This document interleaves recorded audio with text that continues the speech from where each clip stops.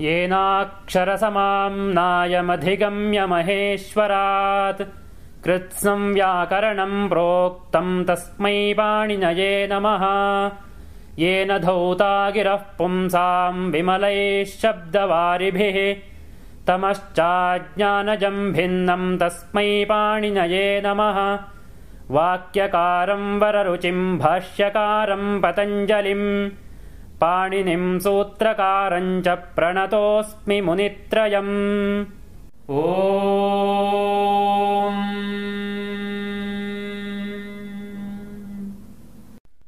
अथ द्वितीयोऽध्यायः। प्रथमः पादः। समर्थः पदविधिः। सुबामन्त्रिते पराङ्गवत्स्वरे। प्राक्कडारात्समासः सः सुपा अव्ययीभावः। अव्ययम् विभक्तिसमीपसमृद्धिवृद्ध्यर्थाभावात्यया सम्प्रति शब्दप्रादुर्भावपश्चाद्यथानुपूर्व्य यौगपद्यसादृश्यसम्पत्तिसाकल्यान्तवचनेषु। यथा सादृश्ये यावदवधारणे सुप्रतिनामात्रार्थे अक्षशलाकासङ्ख्याः परिणा विभाषा अपपरिबहिरञ्चवः पञ्चम्या आङ्मर्यादाभिविध्योः लक्षणेनाभिप्रती आभिमुख्ये अनुर्यत्समया यस्य चायामः तिष्ठद्वक्प्रभृतीनि च पारे मध्ये षष्ठ्या वा सङ्ख्यावंश्येन नदीभिश्च अन्यपदार्थे च संज्ञायाम् तत्पुरुषः। द्विगुश्च द्वितीयाश्रितातीतपतितगतात्यस्तप्राप्तापन्नैः स्वयं तेन खट्वाक्षेपे सामी कालाः।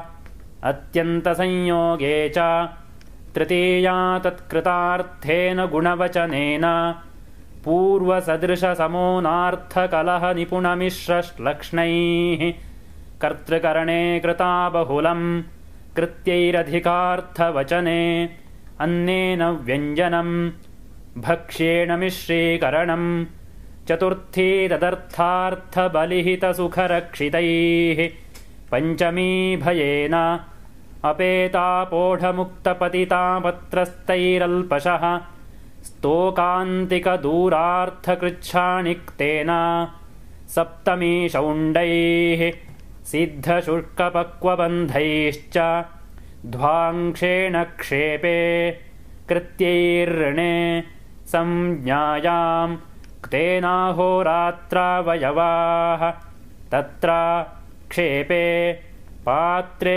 समितादयश्च पूर्वकालैकसर्वजरत्पुराणनवकेवलाः समानाधिकरणेन दिक्सङ्ख्ये संज्ञायाम् तद्धितार्थोत्तरपदसमाहारे च सङ्ख्यापूर्वो द्विगुः कुत्सितानि कुत्सनैः पापाणके कुत्सितैः उपमानानि सामान्यवचनैः उपमितम् व्याघ्रादिभिः सामान्याप्रयोगे विशेषणम् विशेष्येण बहुलम् पूर्वापरप्रथमचरमजघन्यसमानमध्यमध्यमवीराश्च श्रेण्यादयः कृतादिभिः तेन नैविशिष्टेनानै सन्महत्परमोत्तमोत्कृष्टाः पूज्यमानैः वृन्दारकनागकुञ्जरैः पूज्यमानम् कतरकतमौ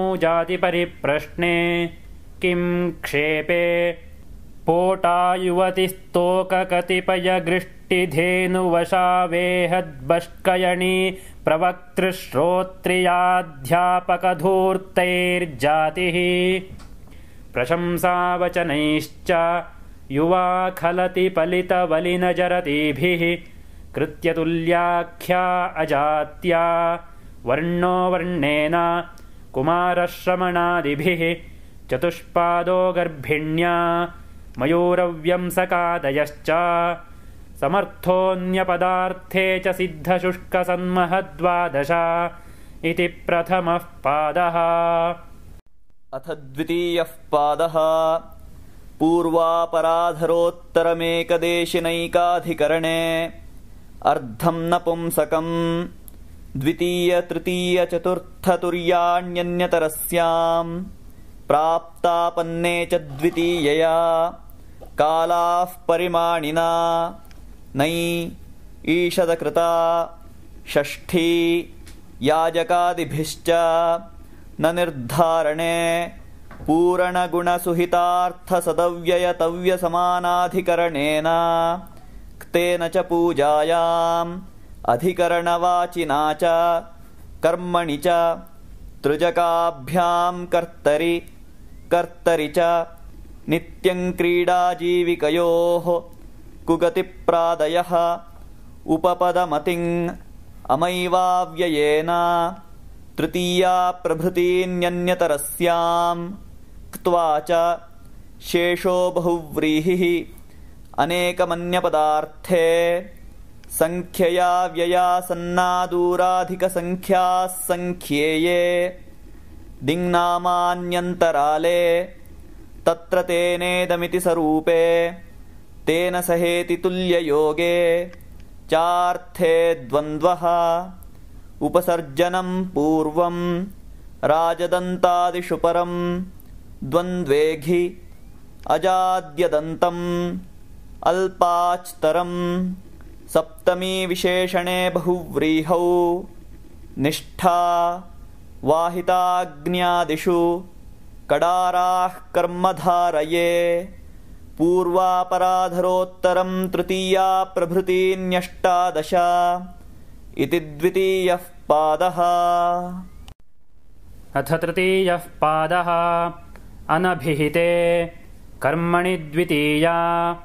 तृतीया च होश्छन्दसि। अन्तरान्तरेण युक्ते। कालाध्वनोरत्यन्तसंयोगे अपवर्गे तृतीया। सप्तमी पञ्चम्यूकारकमध्ये। कर्मप्रवचनीययुक्ते द्वितीया। यस्मादधिकम् यस्य चेश्वरवचनम् तत्र सप्तमी। पञ्चम्यपाङ् परिभिः प्रतिनिधिप्रतिदाने च यस्मात्। गत्यर्थकर्मणि द्वितीया चतुर्थ्यौ चेष्टायामनध्वनि। चतुर्थी सम्प्रदाने क्रियार्थोपपदस्य च कर्मणि स्थानिनः तुमर्थाच्च भाववचनात्। नमः स्वस्ति स्वाहा स्वधालम् वषड्योगाच्च। मन्यकर्मण्यनादरे विभाषा प्राणिषु। कर्तृकर्णयोस्तृतीया। सह युक्ते प्रधाने। येनाङ्गविकारः। इत्थम्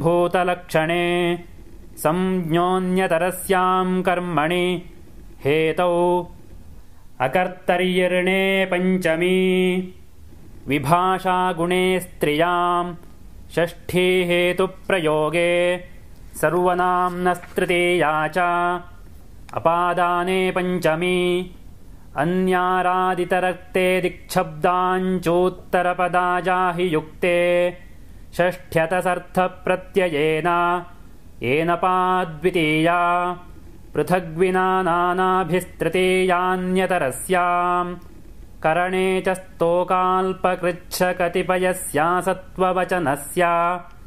दूरान्तिकार्थैः षष्ठ्यन्यतरस्याम् दूरान्तिकार्थेभ्यो द्वितीया च। सप्तम्यधिकरणे च।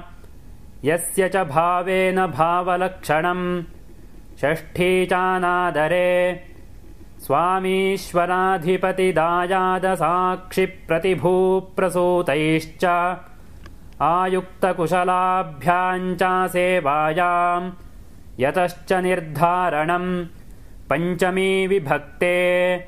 साधुनिपुणाभ्यामर्चायाम् सप्तम्यप्रतेः। प्रसितोत्सुकाभ्याम् तृतीया च नक्षत्रे च लुपि प्रातिपदिकार्थलिङ्गपरिमाणवचनमात्रे प्रथमा। सम्बोधने च सामन्त्रितम्। एकवचनम् सम्बुद्धिः षष्ठी शेषे। ज्ञोविदर्थस्य करणे। अधीगर्थदयेषाम् कर्मणि। क्रियः प्रतियत्ने। रुजार्थानाम् भाववचनानामज्वरेः आशिषिनाथः। जासि निप्रहणनाटक्राथपिशाम् हिंसायाम् व्यवर्हपणोः समर्थयोः दिवस्तदर्थस्य विभाषोपसर्गे द्वितीया ब्राह्मणे प्रेष्य ब्रुवोर्हविषो देवतासम्प्रदाने चतुर्थ्यर्थे बहुलम् छन्दसि यजेश्च करणे कृत्वोऽर्थप्रयोगे कालेऽधिकरणे कर्तृकर्मणोः कृते उभयप्राप्तौ कर्मणि तस्य च वर्तमाने अधिकरणवाचिनश्च न लोकाव्ययनिष्ठा खलर्थतृणाम् अकेनोर्भविष्यदाधमर्ण्ययोः कृत्यानाम् वा तुल्यार्थैरतुलोपमाभ्याम् तृतीयान्यतरस्याम् चतुर्थी चाशिष्यायुष्यमद्रभद्रकुशलसुखार्थहितैः। अनभिहित इत्थम्भूत यतश्च प्रेष्य ब्रुवोस्त्रयोदश इति तृतीयः पादः। अथ चतुर्थः पादः। द्विगुरेकवचनम् द्वन्द्वश्च प्राणितूर्यसेनाङ्गानाम् अनुवादे चरणानाम् अध्वर्युक्रतुरनपुंसकम् अध्ययनतो विप्रकृष्टाख्यानाम् जातिरप्राणिनाम् विशिष्टलिङ्गो नदीदेशो ग्रामाः क्षुद्रजन्तवः येषाञ्च विरोधः शाश्वतिकः शूद्राणामनिरवसितानाम् गवाश्वप्रभृतीनि च विभाषा